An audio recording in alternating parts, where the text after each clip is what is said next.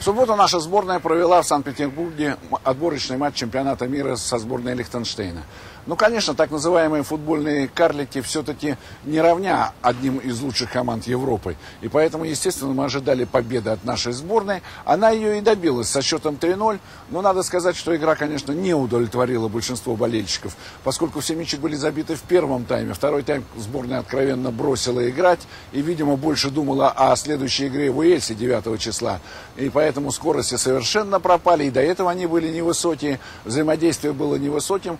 Но все все-таки надо отметить то, что вот эти маленькие сборные, они ставят перед собой довольно-таки интересные задачи. Не забить мяч, а как можно меньше пропустить.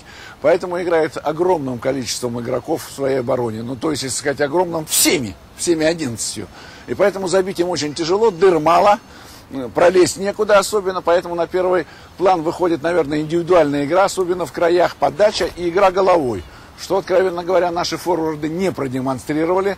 И, как ни странно, лучшим игроком матча был Игнашевич, центральный защитник, который, собственно, две передачи отдал. Первый мяч э, Березутскому и третий мяч Тержакову, когда пенальти было. И два раза очень здорово угрожал сам воротам в игре головой. Конечно, УЕФА надо подумать о том, чтобы для этих маленьких команд Э, так называемых карликов футбольных устраивать какой-то свой турнир, и может быть победитель этого турнира. Единственная эта команда будет участвовать в отборочных матчах чемпионата мира. Но, впрочем, это дела УЕФА, наша задача была выиграть, мы игру выиграли, многие остались не удовлетворены, не удовлетворены и игрой, и составом. Я думаю, что Гус Хидинг немножко занимается э, так сказать, протекционированием игроков, поскольку он поставил Павлюченко, который не имеет места в основном составе в Тоттенхэме, поставил Беллидинова, который пока тоже не утвердил себя в Авертоне. Это скорее говорит о том, что он хотел просто поддержать игроков в Англии, а не потому, что они сильнее здесь всех, и они достойны играть в сборной.